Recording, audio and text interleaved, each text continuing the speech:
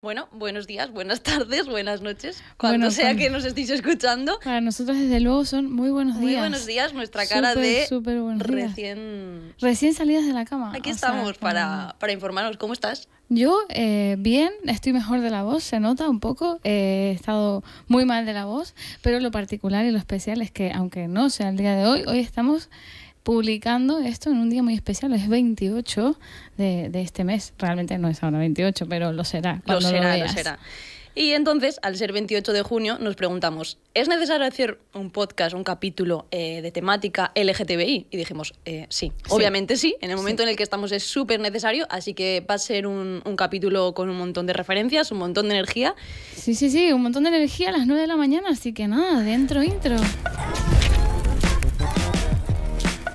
Bueno, pues eh, yo quiero hacer una aclaración antes de, seguir y es verdad que eh, las siglas para hablar del colectivo son LGTBIQ, es decir, el plus añade muchísimas más siglas y muchísimas más personas y orientaciones, eh, pero a lo largo del capítulo creo que lo acortaremos, diremos LGTB, que nadie se sienta excluido, pero porque si no, todo el rato con el LGTBIQ, ¿no? Entonces, claro, estáis todas y todos también invitados, pero haremos un ejercicio de, de tal. Y bueno, lo que decíamos que, que, sí, que era realmente necesario hacer este capítulo porque pensamos como, wow, no queremos entrar ¿no? en esta cosa del orgullo de más, más, más información, pero al mismo tiempo llevamos unas semanas yo estoy realmente enfadada. estás enfadada. Estoy súper enfadada. He pasado por un montón de estados, en plan, he estado triste, he estado enfadada y ahora estoy como en plan con rabia y quiero que este capítulo también eh, demuestre como esa sensación colectiva que tenemos todos últimamente de qué está pasando, ¿no? Sí, sí, sí, sí. ¿Qué está pasando para que de repente estén habiendo ciertos retrocesos sociales en algo que creíamos que estaba 100% conquistado? Totalmente. Y además parecía algo como, bueno, ¿de verdad vamos a hablar de esto? ¿De verdad no está ya aceptado? ¿De verdad vamos a otra vez hacer contenido? Pues resulta que sí, porque es que la verdad es que si miras un poco a tu alrededor y un poco la actualidad, eh, parece que, no sé, que estamos yendo hacia atrás en vez de hacia adelante. Sí, sí, y que la última semana, eh, la última noticia, que tenemos por fin una senadora trans, Carla Antonelli, dentro del Congreso. Es como, bien, como propuesta, o sea... Propuesta, pero como bien, poco a poco se van copando las instituciones. Entonces vamos a hablar de esto, ¿no? De cómo también en la literatura ha habido personas y referentes que llevan décadas eh, luchando por visibilizar, por visibilizar también eh, a la gente del colectivo, ¿no? Entonces vamos a, a, ver cómo nosotras también nos hemos acercado a, a esto, porque también teníamos posiciones diferentes, entonces queremos ver cómo, cómo llegas, ¿no? Cómo llega uno a leer libros no solo LGTBI, sino con los que empatiza también, ¿no? Claro, y además que em, no es eh, lo mismo para todas las personas, no todo el mundo se acerca a la literatura o al universo de manera natural y veíamos cómo a lo largo de ese paso de la infancia a la adolescencia no parece que abunden este tipo de, de este tipo de literatura y de tipo de narrativas. ¿Tú, tú tienes un, un primer libro, un primer libro que digas, este es el primer libro que yo leí como referente, ¿no? Que digo yo, vale, que, te marcó, que estaba dentro de ese universo. A mí como persona LGTBI en su día, hace 15 años, me costaba mucho encontrar libros en los que hubiera dos tías que se besaran. Y era como, a día de hoy sé que puedo encontrar y sé que puede haber referentes, incluso la gente joven, creo que a través de TikTok y otras plataformas estamos viendo como gente que prescribe libros desde la literatura queer súper jóvenes y dices, ¿dónde estaban en mi época? ¿Verdad? ¿Dónde estaban? Claro, claro. Y, es verdad que son libros muy juveniles. Muy juveniles, es literatura romántica, pero LGTBI, también mucha fantasía. De hecho, Marvel ahora acaba de sacar una, una, una especie de, de, glosario sobre, para el Pride con eh, personajes LGTBI. Pero bueno, en, en mi época, cuando yo era adolescente, yo no encontraba muchos referentes más allá de series en las que podía haber dos tías, pero poquísimas, cero. Y yo recuerdo el primer libro que leí, que no lo he traído porque no lo tengo, y ese libro lo leí en un ordenador y lo leí en dos días. ¿En serio? En plan de lo motivada que estaba. Eh, y la cosa es que, o sea, estaba escrito por un hombre. Vaya. Tenía, o sea, no era LGTBI, tenía una pequeña trama lésbica. Y ese hombre era el grandísimo Haruki Murakami, del que ya hemos hablado. Hemos hablado aquí. Hemos, hablado, de él. Hemos tachado a plan Murakami, no sé, pero bueno. Pero lo he leído y es fuerte, pero que es como, no es mi primer referente, pero es como, wow, qué acercamiento tan ingenuo, ¿no? Porque Claro, yo no sabía este hombre quién Pero era. vamos a ver, tenías un libro en PDF, o sea, era piratería. Era piratería, mierda, lo he dicho, lo he dicho. ¿Cómo Y, llegó ese libro a tus manos? Pues me lo pasó una amiga de mi hermana inocentemente y es como... La, mira, léete esto Léete esto y como, ay, ¿qué me estás queriendo decir? ¿No? Pero que fue como muy fuerte. Lo que pasa que era una trama como un poco como una relación amorosa, que esto es uno de los mitos que queríamos hablar hoy, que hay veces que en los libros se han mostrado las relaciones entre personas del mismo sexo como algo súper dramático, súper enigmático, imposible. De hecho, eh, la protagonista está enamorada de una mujer más mayor que ella, la relación es como súper Tormentosa amores pasión, imposibles. tal. Es como, pero bueno, ¿no?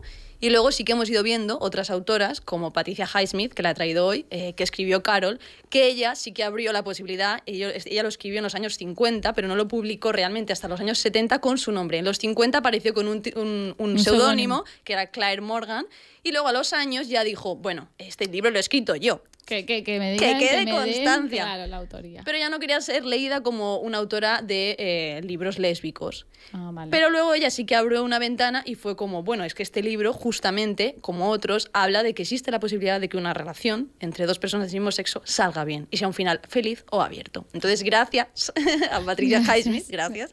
Y a otras autoras, pues no nos quedamos con esta referencia como de eh, relación tortuosa eh, e imposible, ¿no? No, no, claro. Entonces, ¿este libro de qué trata? ¿Es un amor? ¿Es El de, una- el de Carol. El de ¿De Carol Carol? es una relación, bueno, ella está basada en una, una situación que ella tuvo. Ella trabajaba, Patricia Highsmith, en unos grandes almacenes. eh, y de repente se enamoró de una mujer, en plan, súper elegante, súper interesante. Y ella estaba como de, pues eso, ¿no? En la caja. Y entonces se fue corriendo a su casa y escribió este libro. Y escribió las primeras páginas. Al día siguiente tuvo una fiebre altísima y escribió todo el libro, o prácticamente todo, del tirón. ¿En serio? Entonces es súper guay porque realmente está basado en algo que le pudo pasar a ella y cuenta la historia de una chica joven que se enamora de una mujer mucho más mayor que está casada y como esta mujer en, en esa época, en los años 70, 80, incluso antes, cómo rompe con todo Claro, totalmente. y tal, ¿no? Y, y bueno, ya está, no me voy a enrollar más, pero bueno, hay, hay una película, hay todo, ¿no? A través de este libro. Y este fue realmente mi primer libro que yo puedo considerar que es de una autora LGTBI. Realmente ese fue el Sí, primero. Lo que siento. Murakami, está, sí.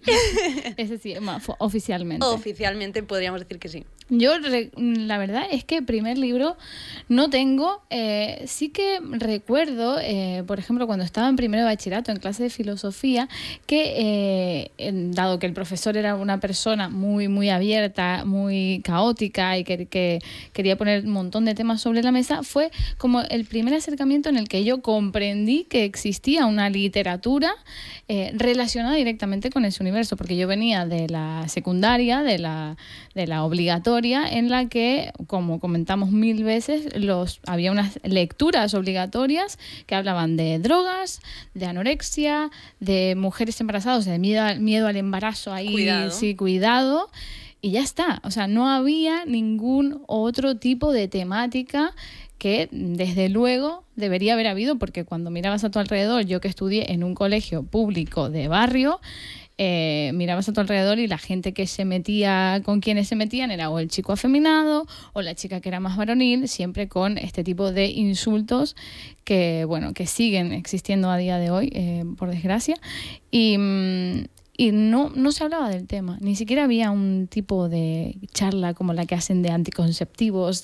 O de la menstruación, o de esas cosas. No había. Que había nada. miedo, pero no sé miedo a qué, ¿no? Y es con miedo que como desgraciadamente todavía se contamina hoy, es como, bueno, mejor que tengamos referencias con las que empatizar, ¿no? Porque tienes 16 años y todo lo que ves son eh, literaturas normativas y tú dices, bueno, ¿y yo qué hago, no? Claro, claro. Imagino. Exactamente. Yo necesito ver cosas que sean tangibles y sean reales, ¿no? Y hablábamos de sagas que hemos consumido Sagas que además son como universalmente conocidas y famosas, súper referentes de, que- de los 15 años, en los que no hay ni un atisbo de nada. Nada, todo es O sea, súper normativo, ya no solo la orientación todo. sexual, sino la expresión de género. Nadie tiene problemas con su expresión de género. Nadie, nadie. ¿Qué pasa no. en Crepúsculo? Son blancos todos, pero Sí, ahí sí, no hay sí, problemas. nadie. ¿Y en Harry Potter? En Harry Potter, vamos, Harry Potter, ahí eh, plena de pasar de la infancia a la adolescencia luchando contra un gran malvado sin nariz y horrible, tremendamente fatal. Horroroso. Pero, pero nada, o sea, no- Claro, ningún pero, tipo de. pero de- yo lo hablaba eh, estos días con mi prima, que también es muy fan como yo de, bueno, en aquella época de cuando Crepúsculo, antes de que se viera que es súper tóxico, ¿no? Y yo le decía, tío, ¿por qué no pusieron que alguien fuera LGTBI? En plan, yo qué sé, Alice, ¿sabes? La Claro, hermana sí. de- del, Sí, sí. del vampiro. Yo ya hubiera crecido diferente, te lo digo en serio. Sí, sí, además que había, a, a- a ver, había personajes que... de- es que tenían vibes, o sea, el Sí, radar sí. LGTBI saltaba, pero no, y además que de- después, igual que en Harry Potter, tienes 250 personajes en toda la historia que van apareciendo en diferentes momentos, pues, no Oye. sé, a lo mejor a, a lo mejor no conocemos tanto las sagas y sí había personajes, pero no nos dimos cuenta, no lo sé, no, no, creo que no. pues podrían haberlo remarcado más, ¿no? Porque si tú luego. desde tu casa estabas en plan, ay, me gusta un chico, me gusta una chica, y no ves un personaje que también dude, dices, estoy loca, estoy Claro, loco. Claro, claro, claro. Necesitas eso ver es personajes que duden, ¿no? Eh, ¿no? No solo en esa época podría haber habido un personaje que no que sufriera su orientación sexual como algo tortuoso, pero sí, porque vivís en sociedades en las que todavía no está normalizado. Entonces, Sí, sí, hubiera estado guay ver como las dudas Sí, para no estar tú en tu habitación consumido por... Exactamente. Bueno, yo había traído eh, una, un- una captura de pantalla de un artículo que tenemos en Código Nuevo, que es una gran web donde hablamos de todo, Ay, en el que, bueno, eh, hablamos de por qué en Estados Unidos están prohibiendo libros como El cuento de la criada y esto... Esto es muy fuerte. Es muy fuerte, es una, es una noticia que sacamos a- hace poco en el que se habla de la cantidad enorme de libros prohibidos que hay eh, en Estados Unidos que se están prohibiendo. O sea, son libros eh, por lo general que bibliotecarias o profesores han recomendado y que ahora gente de la política o administrativos están diciendo no, no, no, estos no. Y eh, lo que cuenta este artículo es que el 40% de esos libros prohibidos son de temática LGTB. Y muchos de ellos, eh, como el 20%, también hablan de sexo. Entonces, todo es eh, como...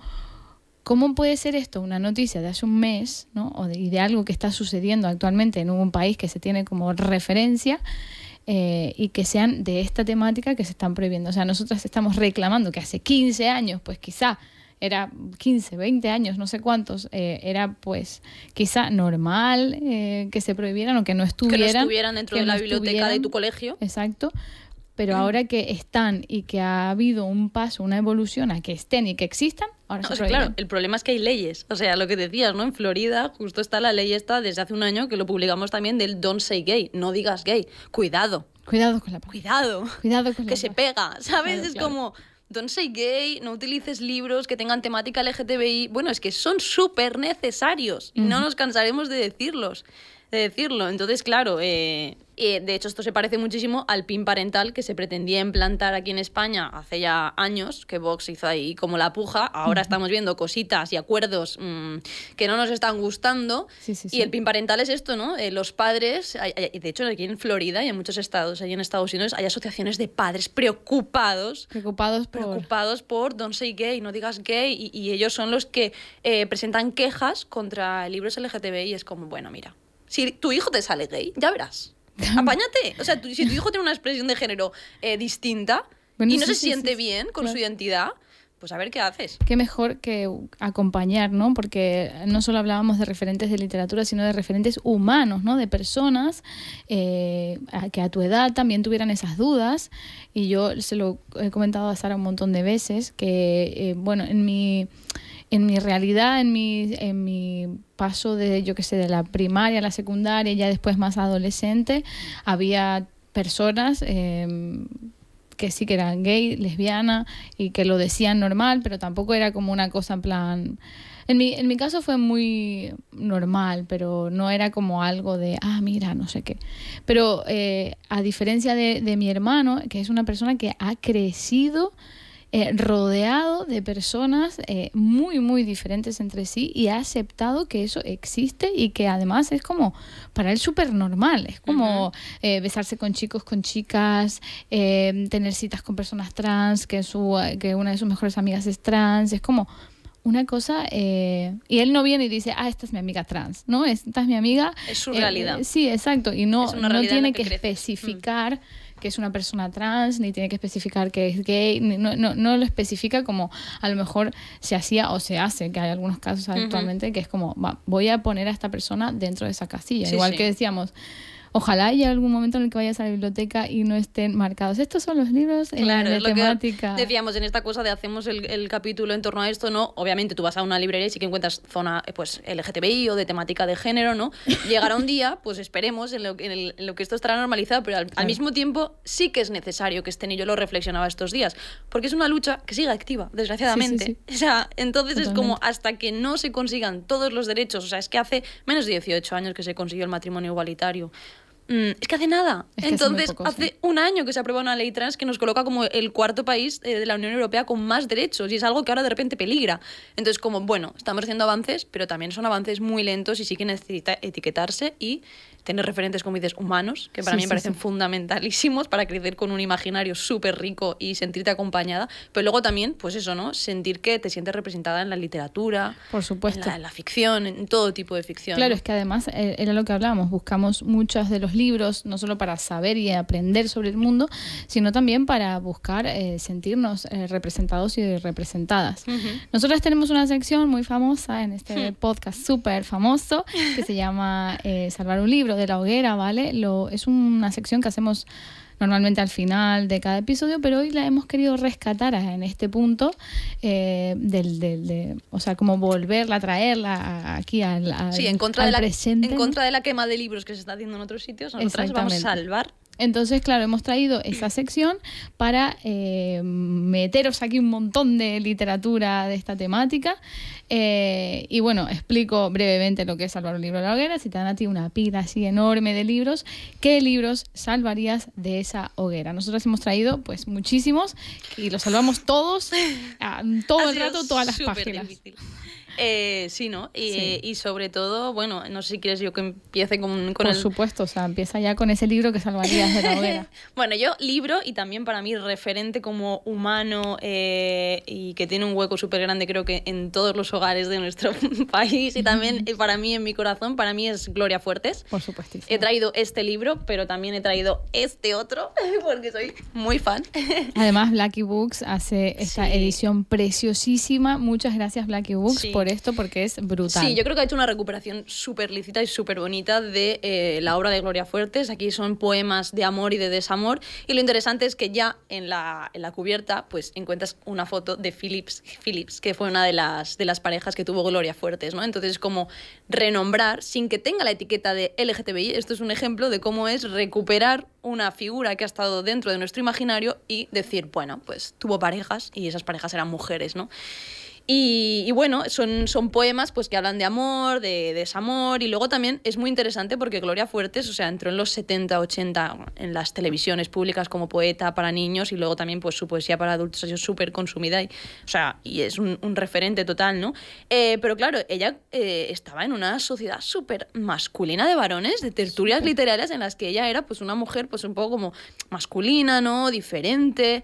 Entonces, claro, de ella dice, eh, el dramaturgo Francisco Nieva decía, Gloria pertenece a un tercer sexo divino que rompía con todo en aquella España de hierros y caspa. Claro, sí, es que, claro, era totalmente así. O sea, y ella en sus poemas eh, no utiliza, cuando habla de amor, si son hombres sí que dice el nombre de ese hombre, ¿no? Masculinamente, pero cuando son mujeres los nombres aparecen crípticamente. Aunque, a ver, ella en este, por ejemplo, en este poemario aparece la palabra lesbiana, aparecen referencias a travestis de la época de los, del destape, ¿no? De los, bueno, antes de entre la dictadura, cuando acababa.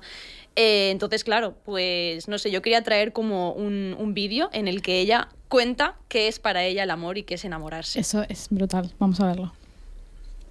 A ver si lo tenemos por ahí. Por supuestísimo. Aquí esto es un sitio lleno de recursos. Fíjate, y qué paz tengo, solo me erotiza la gente buena. La bondad de las Sí, personas. no como va vestido. Claro, bueno, si va hecho un guarro puede ser, pero que vaya mal, o que aunque tenga dinero no tenga gusto para entonar, no, eso yo no me fijo en lo exterior. Me fijo en, en su interior y en que trae una obra hecha, aunque no haya escrito ni pintado. Y en las Sí, mujeres no- también te ocurre igual. O sea, no diferencias a, a Paola de Lieja, de la vecina del entresuelo. pero, pero bueno, no eh, bueno, es que también tengo una estética, como, como no sé, como humildemente todo artista. Ya está. Es Bueno, que, claro, es y ese que- hombre. ¿Y las mujeres qué, sabes? O sea, Claro, estamos claro. hablando que estos serían los 70. o Y además sea, es un 80. vídeo en el que se refleja muy bien esto que decía eh, Francisco Nieva. Sí, Nieva. Eh, pues lo que decía, ¿no? De ese tercer sexo, esa expresión, esa, eh, esa estoy aquí. Además, tiene una presencia maravillosa esa mujer y un pensamiento brutal. Sí, Me sí. alegro muchísimo que hayas traído este vídeo. Es brutal, brutal. Le clamo. Y, y nada, bueno, un poema de ella que me gusta mucho, que recupero de aquí y que viene muy bien para, para hoy. Ella dice, lamer la piel de quien amas, lamer el plato, pegar sellos, usemos la lengua para todo menos para herir.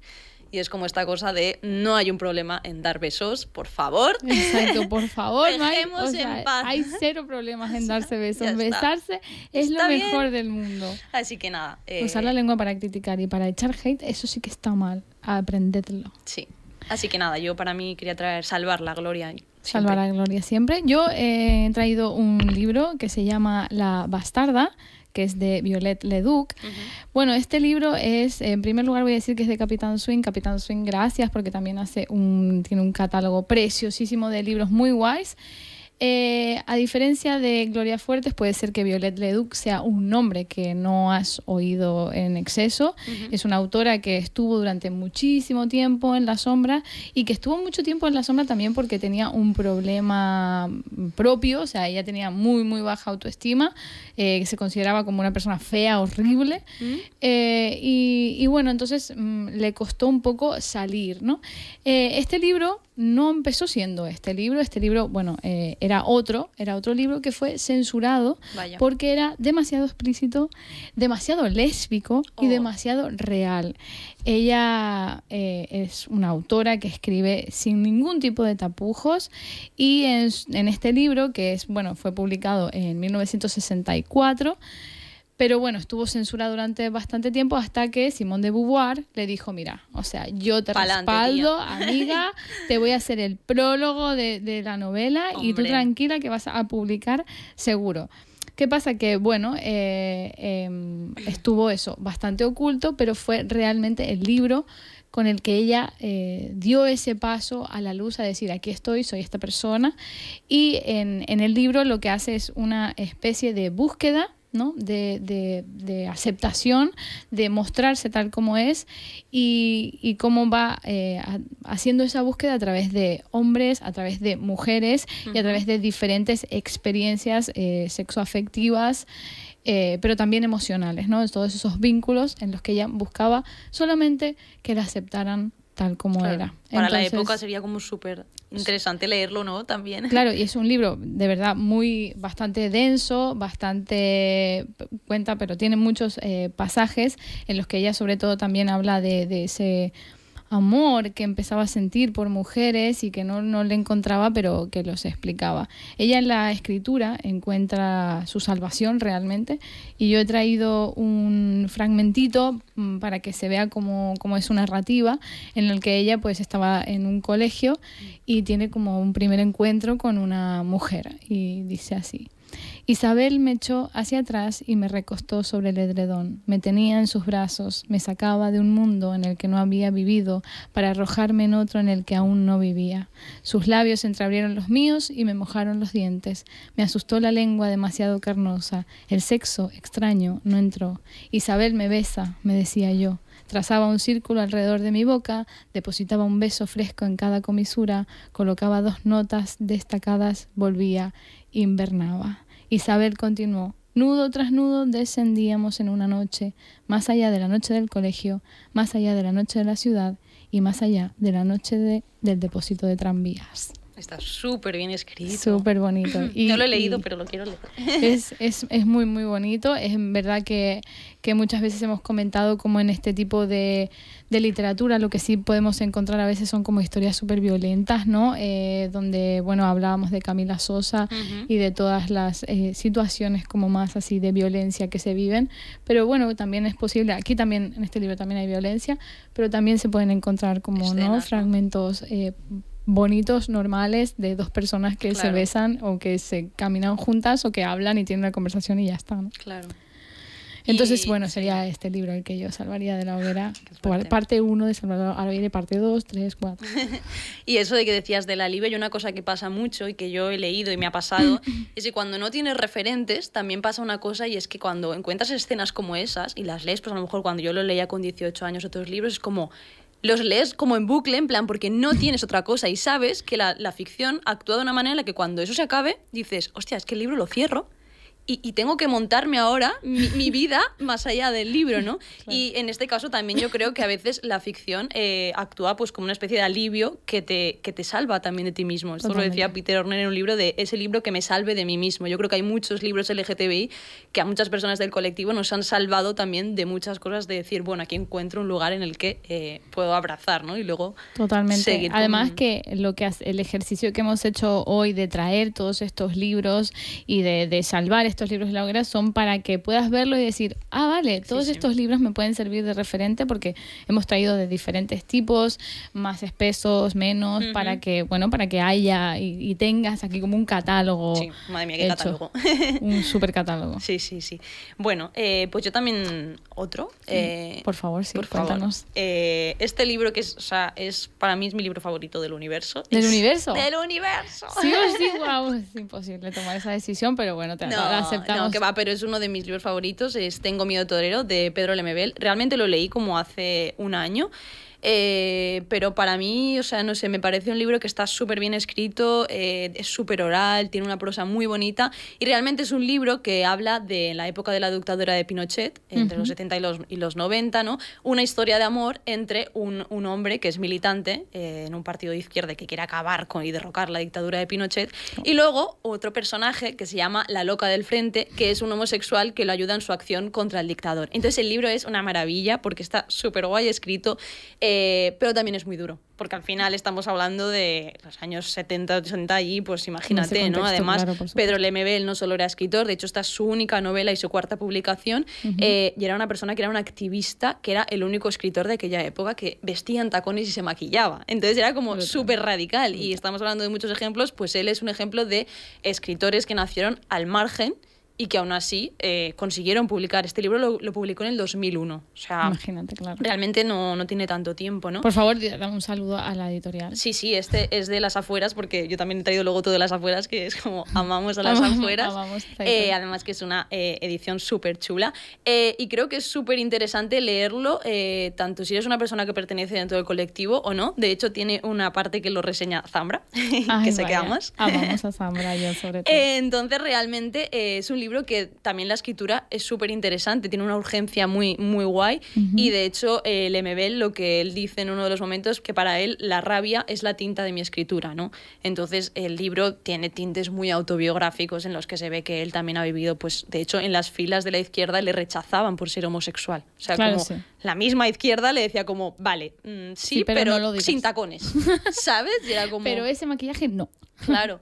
Entonces, bueno, creo que es una figura súper relevante dentro del colectivo y también de la literatura la- latinoamericana.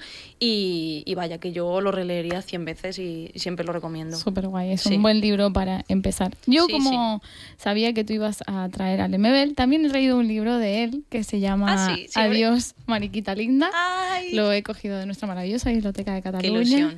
Eh, De repente un espacio solo para leer. Sí, sí, este, por favor, o sea, la portada Me es encanta. chulísima. Eh, es un libro muy diferente porque realmente no es una novela y es, eh, es un- son 30 crónicas de carácter autobiográfico. Él escribía en muchísimas revistas, en publicaciones, entonces este libro lo que hace es que reúne esas 30 crónicas. Eh, habla, tiene un lenguaje que es muy chileno, ¿no? con esos modismos chilenos que lo destacan, que él siempre utiliza ese, ese tipo de lenguaje, como muy expresando su, su acento. Y además de las crónicas en este libro también hay cartas Qué bueno. eh, y diferentes escritos de, de todo tipo. Yo lo he traído porque, bueno, habla de amores homosexuales, muchas de sus crónicas que publicaba en revistas pues eran eso, autobiográficas. Y, y bueno, habla de, de viajes, eh, habla de personajes icónicos de ese momento que para él eran referentes. Y creo que es un buen libro como por ejemplo para empezar porque son textos realmente cortos, en plan de cuatro o cinco páginas y todos eh, son, son diferentes entre sí. Entonces, au- aunque hay obviamente esos puntos en común, creo que es un buen libro como que te puede acompañar y veas eh, cómo se vivía en ese momento, porque sí que también hay hay cartas y escritos un poco duros, pero hay otros que son divertidísimos, Sí, porque sí. si hay algo que lo destaca este autor es que es muy, muy Sí. divertido a la hora de, de escribir y, y- y redactar. Entonces, bueno... Sí. eh, En Tengo miedo torero le pasa igual, es una escritura súper oral que te- de repente te mete un bolero y se pone a cantar. Y yo ese libro iba por la calle y esos son libros que creo que lo he hablado contigo de que se te queda la musicalidad dentro de la cabeza. sí, yo me lo leía y iba como, quiero más, quiero más, sí, ¿sabes? va, va, por eso digo que más allá de, la, de que pueda ser considerado LGTBI, que para nada tiene como esa etiqueta eh, que lo ciñe, es un libro de escritura, de que las palabras brillan por sí solas y, Sí. y vaya, 100%. Es un autor que destacamos y al que le damos un montón de cariño y amor. 100%. Y luego también, bueno, queríamos también comentar, eh, no sé si los términos, ¿no? Dentro de... Es verdad. ¿Qué pasa, no? Porque era como que hace tiempo como la palabra marica, la palabra brollera, ¿no? Eran como palabras despectivas que desde Ajá. dentro del colectivo... Bueno, que pueden serlo, ¿eh? según Lo quien las diga y lo y Claro, claro, son. le, iba a matizar que depende quién las diga, lo son, ¿no? Y a día de hoy lo siguen siendo porque se utilizan como un insulto, pero dentro del colectivo, ¿qué hemos hecho? Pues intentar reapropiárnoslas como hemos podido, cariño. Claro, O sea, eso es así. Eso, eso es así. así. Y ahí, bueno, y también lo hablábamos, dentro del mismo colectivo también a veces mm, no tienes todas las herramientas o, joder, es que hay muchísimas expresiones de género y tienes que ir con mucho cuidado eh, a la hora de utilizar lenguaje, ¿no? Y hay un libro muy guay que si os interesa como indagar más, se llama Barbarismos queer y otras esdrújulas, que es de Edicions Bellaterra. Y es este libro. Guapísimo ese collage de la portada, Es de la súper cubierta. guay. Es muy Y entonces guay. hace un repaso por diferentes definiciones que parecen que estén súper dentro de nuestro día a día, pero realmente yo me las he puesto a leer y algunas que, como va a la parte de lo teórico, no tenía ni idea. Ni idea qué- de dónde venía dónde ni venía eso, X palabra. ¿no? Entonces como que te hace un viaje hacia términos como, yo que sé, eh, ser queer, el, yo que sé, el capacitismo, vaya, un montón de términos LGTBI. Y vaya, yo lo recomiendo un montón porque Claro, te ayuda sí. a reapropiarte de términos y decir, vale, vamos a hablar, pero Y es que muchas veces decíamos, ¿no? Eh, cuando te pones a hablar sobre este tema eh, con amigos o amigas, eh, eh, no pasa nada si la cagas, ¿vale? Está bien equivocarse, está bien eh, rodearse de personas que te puedan decir, oye, eso no se dice así, o oye, esto es asá, como se decía la palabra marica, yo con mis amigos que dicen, en plan, ay, marica, ay, ay, maricón, no sé qué. Bueno, se lo dicen entre ellos, se ha- han apropiado de esa palabra, pero para eso sí que está guay utilizarla para insultar. No. Y quien insulte, que me busque, porque vamos. Entonces. nos sí. va a encontrar. Que hoy Sí, venimos... sí. Hoy venimos, encima que es lunes, que de verdad es lunes, o sea, no es otro día, es lunes. Es lunes, O sea, aunque esto lo veréis el miércoles, pero yo he dicho que veníamos enfadadas. Yo venía enfadada. No, yo no estoy muy, muy No. enfadada. Pero bueno, eh, a- apropiándose de esa palabra, también se apropia eh, esta persona que se llama Álvaro Sanjón. Eh, eh, y este es otro de los libros que he traído como, bueno, como referente, como para salvar de la hoguera, y se llama Grandes Maricas de la Historia. No sé si veis aquí algunos rostros en la portada, se pueden Ay, ver ay, en la esto me encanta porque es como parte gossipeo. Sí, sí. ¿Sabes? Que No, y además- tenía muchas ganas de llegar a este momento en plan a ver qué gossip allí. Te juro que además él lo escribe así en plan, bueno, eh, que sepáis que claro, en ese momento que iba a decir este pobre chico, o sea, no podía decir nada porque estaba todo vetado. ¿Cómo va a decir, hola, soy homosexual, mm, Exacto. siglo XV? Exacto, entonces es muy divertido porque tiene ese tono, te lo juro, en plan, bueno, como ya sabéis, en este momento era imposible hablar de este tema así, así que... Eso se parece mucho a uno que no he podido traer, que es el de señoras que se empotraron hace mucho. Ay, sí, es muy guay eh, que también está muy guay, que también recupera la figura de mujeres eh, bisexuales y lesbianas desde el siglo, pues eso, 15, 16. Sí, sí, sí. Bueno, yo no sé si quieres que te, que te Quiero gossip, quiero- cuente cuéntame, algu- cuéntame. alguno de los ejemplos, ¿vale? O sea, es realmente es un libro que podría dedicarse para un capítulo entero, porque como bien se voy a mo- mostrar el, el índice, o sea, griegos, romanos, medievales, renacentistas, eh, los que llevan peluca, eh, románticos, o sea, hay en todas las épocas. ¿Qué pasa? Mm, que hay algo en común en muchos de estos personajes y es que no tienen un libro que se llama Hola, ¿qué tal? Soy gay. ¿no? Claro. Eso era imposible. Y yo he traído a alguien que, bueno, de, de todos los nombres más eh, conocidos, hay uno que me pareció que era muy guay traer y es Isaac Newton. ¡Wow! O sea, como ya sabemos, Isaac Newton es el quien descubrió y describió la ley de la gravedad con ese grandísimo momento de cae una manzana, cayó una manzana y él ahí de repente se iluminó y dijo, a ver, ¿qué esto qué? ¿Por qué ha pasado esto? ¿no?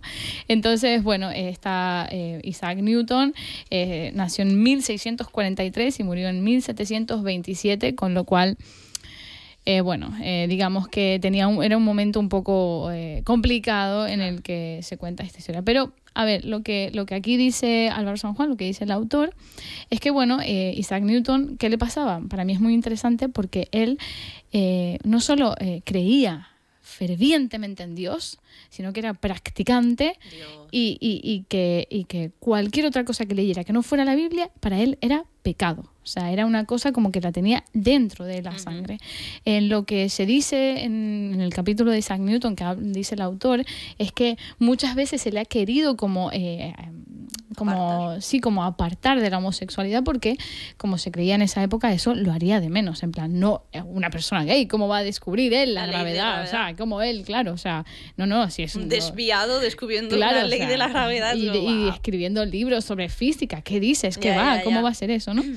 Entonces, eh, a él le costó muchísimo eh, pensar que Dios no lo castigaría por ser como era y por hacer lo que él hacía. Por eso es lo que digo que no hay ningún escrito donde él hable abiertamente de su homosexualidad. De hecho, o sea, creía que Dios lo castigaría tanto y tantísimo solo por estar en el, eh, con una mujer. Y tiene libros donde se dice y explica que jamás tuvo ni un roce, ni un poco con una mujer. O Ni sea, con se- un nombre. no, no, con nombre, los hombres ni los nombra, pero, pero sí que dice palabras de que no ha estado con- ni con mujeres. Es que hablamos de que estamos en sociedades en las que es difícil afrontar tu identidad sexual o tu orientación sexual, pero es que también somos sociedades todavía súper católicas. Y no solo porque socialmente, si tú eres LGTBI, te, te, te miran de esa manera, sino porque tú mismo o tú misma estás como, bueno, es que esto mm, está mal. Claro, es, y es además- fuerte, porque es como... Imagínate en el siglo XVII. En el siglo XVII no había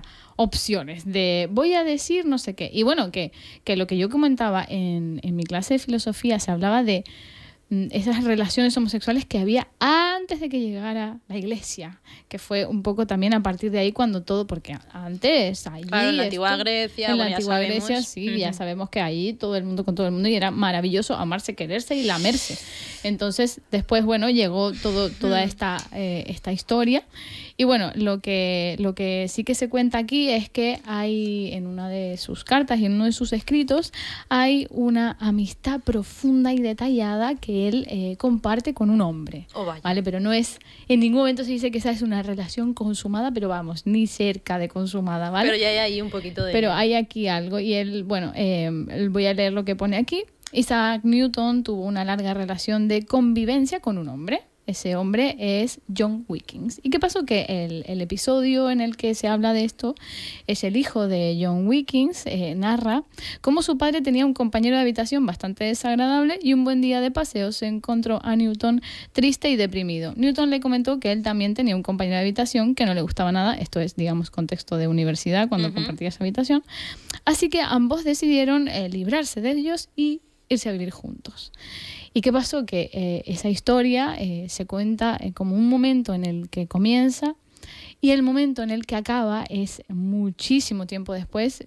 Como dice aquí, es, resulta bastante significativo el hecho de que tras 20 años de convivencia de estos dos, de Newton y Wilkins, su ruptura en 1683 fue fulminante y está envuelta en una nube de misterio. O sea, Claro. no se sabe por qué dejaron de ser amigos tras 20 años de esta convivencia en el que bueno se sospecha o se habla entre los grandes teóricos y en, en un- uno de sus biógrafos más famosos de Newton que bueno esto realmente fue una relación de amor Claro. que, que todo constantemente durante todo el tiempo tuvo que estar oculta Claro, bajo es que no nos- un- así tapados Es que, escondidos total. Y eso hace siglos, pero no nos olvidemos que hasta hace pues 40 o 50 años, o sea, por ejemplo, Gloria Fuertes, sus parejas, ella no las mostraba públicamente. Se daba a entender que le gustaban también las tías, pero no era como un, ah, no, sabes, es que está, si estás en plena dictadura, mm, O sea, si hoy, hoy en día, una noche de discoteca, en la puerta hay parejas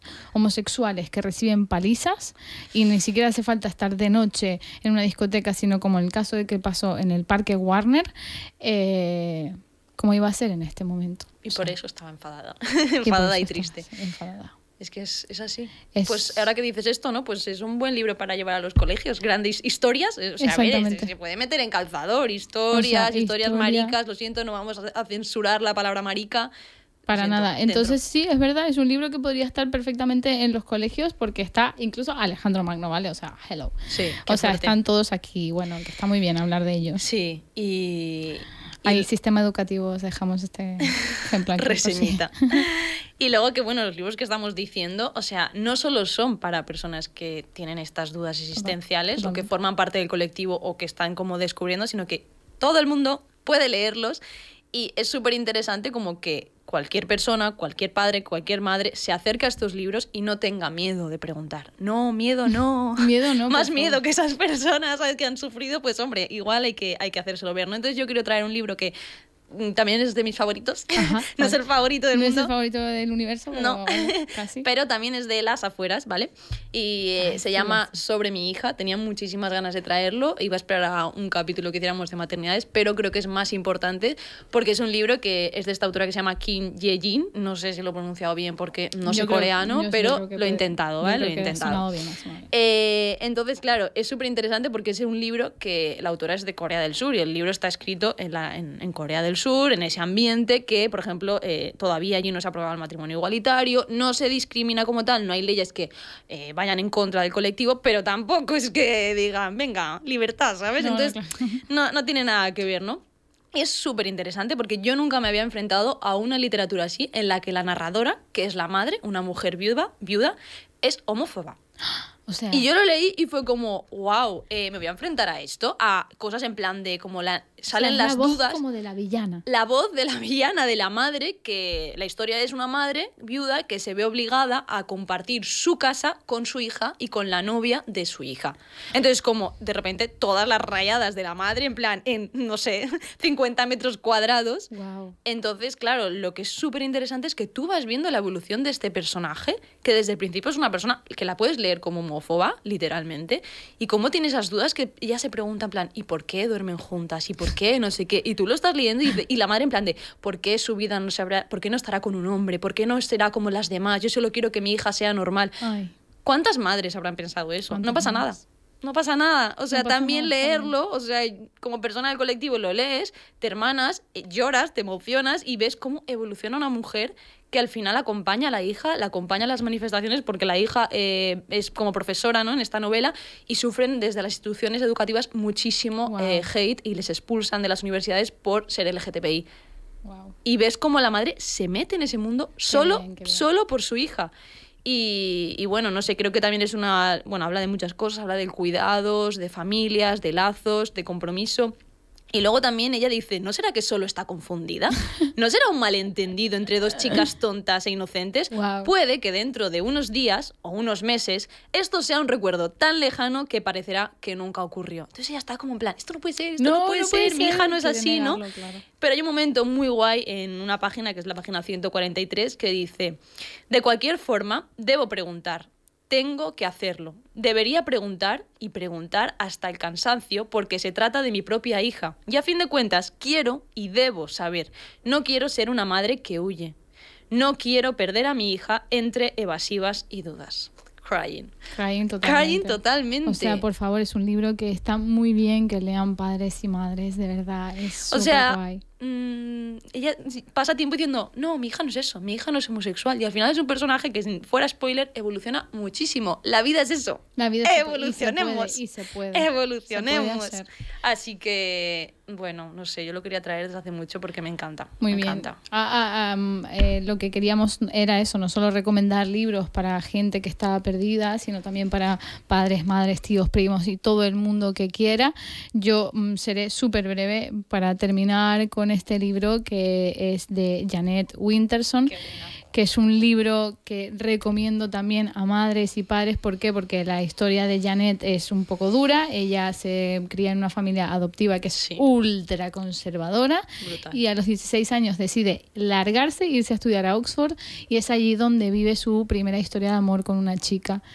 Y todos sus libros, que esta es una novela que ella publica, Fruto Prohibido, Prohibido que ella publica con 24 años. En Lumen, ¿no? En Lumen, exactamente. Em, y en el que, bueno, es una novela, pero tiene completamente todo un tinte autobiográfico porque es también una, un joven que está en una familia adoptiva, conservadora, mm, de ultraderecha por lo menos, en la que, o sea, era como completamente la religión lo único, cállate la boca y no hables, ¿sabes? Es como ta, mm, censura 100%. Otra vez la religión, es que a veces... Otra vez la religión. Entonces, bueno, eh, eh, me pareció muy guay traerla porque es un relato desde la infancia a la adolescencia y de la adolescencia a la adultez, ¿no? Entonces, como la infancia es muy, muy breve, pero sobre todo es ese paso de la adolescencia la edad adulta y, y creo que es un libro ameno, que se lee bien, que es un poco duro, es verdad, pero como ella lo narra desde una parte amable, amorosa, creo que es un libro que está muy bien que puedan leer madres, padres y sobre todo también esa gente que quizá en est- está en ese tramo de qué Claro. hago. Y que no es una cosa que solo te viene en la adolescencia, en plan, ¿cuándo te diste cuenta que no sé qué? Bueno, es una cosa que yo creo que lo hablaba contigo, es una cosa que siempre está también en ti y que puede aparecerte o descubrir tiempo después y que necesitas también libros, referentes físicos, personas, compañeros, amigas, amigues y luego también mm, relatos en los que puedas como eh, reforzar tu identidad, porque si no Totalmente. vas súper lost. Totalmente, así que nada, eh, bueno, hemos llegado así de rápido al final. Eh, hoy el día que estás viendo esto es 28, así que sal a la calle a celebrar, Pues sí. que la lucha a continúe, celebrar, a a celebrar. luchar, a reivindicar y a estar presentes más que nunca, porque este año de verdad hay y que estar que ahí. bueno, que si necesitáis libros, estos son algunos de ellos, hay muchísimos más, pero como estos son nada 40 minutos, no podemos hablar de todo, ¿vale? Claro. O sea, podría ser Sí. parte 1, parte 2, pero no. No, ya traeremos más. Así Ahí que tenemos. nada, nos vamos a despedir ya. Eh, gracias a BCN Radio Hub, a Leis, nuestro técnico que está allí, también aquí controlando los mandos, Siempre, eh, siempre. a Carlos, nuestro productor, a todo Código Nuevo, a las, a las personas de redes, a todo el mundo que nos acompaña. Eh, y gracias a ti por estar Gracias aquí. a ti, gracias a las personas que escribieron el estos mundo. libros. Y, y nada, y nos vemos dentro de dos semanas. Así que nos podéis ver en YouTube, en Spotify, Cada en 15 TikTok, donde queráis. Aquí Súper. estamos. Adiós. Chao.